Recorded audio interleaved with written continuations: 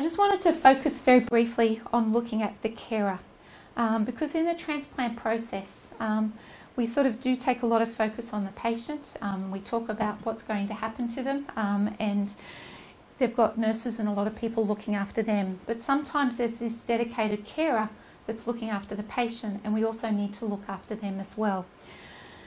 And the carer is really responsible for making the arrangements. Um, I do have a friend who, I think it's over 20 years ago now, when she actually got diagnosed with Hodgkin's lymphoma, and she was actually the principal person. She did everything um, and ran the household. But the minute she actually got diagnosed with that lymphoma, she did that change focus, and she thought, I'm not going to deal with any of this anymore. So the poor carer or the husband actually had to pick up all of those things that the, the patient doesn't want to look after. And sometimes that will stay the, that for the whole time. They might say, I don't want to deal with that anymore. I've, I've had cancer. I don't have to look after the bills. I'm going to leave that with you. So there can be some role changes that occur, and the carer can take on responsibilities that they've never had, and those responsibilities can be with them long term into the future until that person might want to take them back. They're the person that's giving a lot of emotional support, um, and they're having to read what the patient is going through, what they're thinking, um, and sometimes they can be a bit surprised at how the person is re- reacting to the treatment and how they're talking to people. But we need to understand that none of us know what we're going to, to do when we're going through a transplant. Um, and that those um, reactions are acceptable, and that we just have to manage those symptoms. The other thing that they do is they sometimes need to provide the physical care um, to the person when they get home, and they're having to actually look after them, shower them, um, helping them get changed. They're also looking after the home environment and maintaining things ticking over, getting groceries, doing the shopping, um, doing all of those things. And also, when the patient gets really sick, they're also the advocate for the patient um, and they're really sort of speaking up to make sure that the patient is heard um, because they're really the best person to know what the person is going through and what they're thinking. However, we also need to look at taking care of the carer. Um, and a key thing, um, I think one of the downsides to hospitals today in the 21st century is that they say that visiting hours can be 24 hours on a hematology oncology unit. Might be a good thing, but I also think it's a bad thing. I always sort of say, as couples or as adults, we never live in each other's pockets 24 7. We go off to work by ourselves, um, we do things um, separately by ourselves, we go off and, you know, meet with our friends um, we do things differently. So we don't have to live in each other's pockets just because someone's gotten sick. So the carer needs to also be able to say, I can step back, someone else can look after the person who's sick at the moment while I go off and have some downtime myself. So it's listening to your friends, it's knowing your limits, it's know when to let go, it's know when to scream and say, I've had enough, I need some help here. Um, hospitals are very busy, nursing staff, you know, is quite tight sometimes.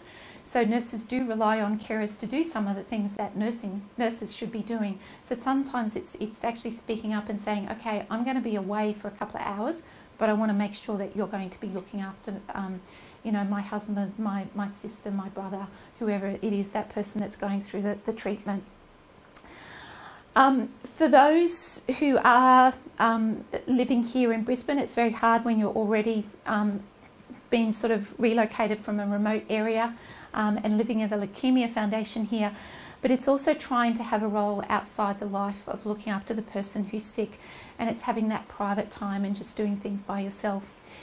If you can, it's building a team of carers. Um, we don't expect one person to do absolutely everything for the patient.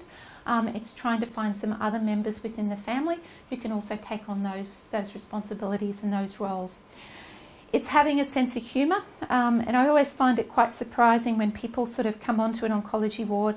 I think they expect doom and gloom, but in actual fact, even staff, we laugh and we have fun. Um, I think if we don't laugh, we'll probably all end up crying, and really, life's not life's too short, and it's not worth crying. Um, so it's really keeping that sense of humour th- going through a transplant um, and laughing at some of the situations that you can get yourselves into thinking, you know, I never thought I'd ever be doing something like this sort of thing, so that you try and find that, that humorous side to what's going on. For the carer, it's also appreciate, appreciating what you do. Um, and I think carers do a lot, um, and I don't think they're valued or acknowledged as much as they should be, sort of thing. So I guess this, this is my opportunity to say thank you to all those carers um, and for the role that they play. But it's really important to seek help when you need it.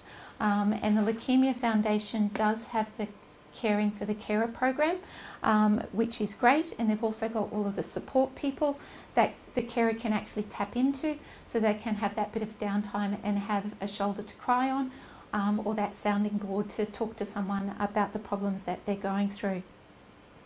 So I just wanted to finish off by um, with these couple of slides um, with regards to looking ahead.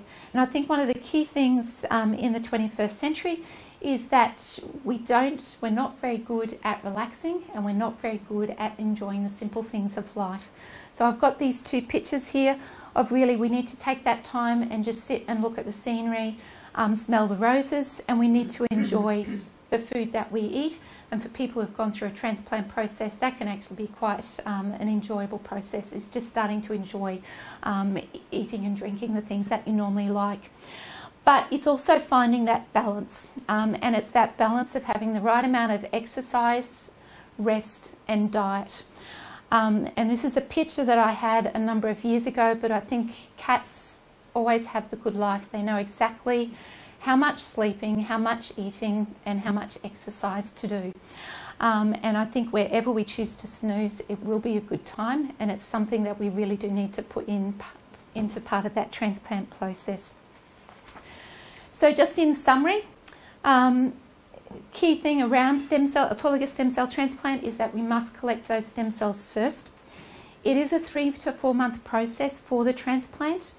It can be a life changing event, and some people can really change how they live life.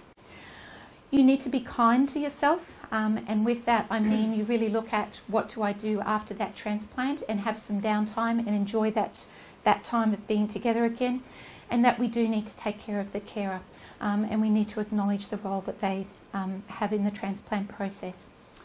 So I shall leave it there um, and open it up for any questions.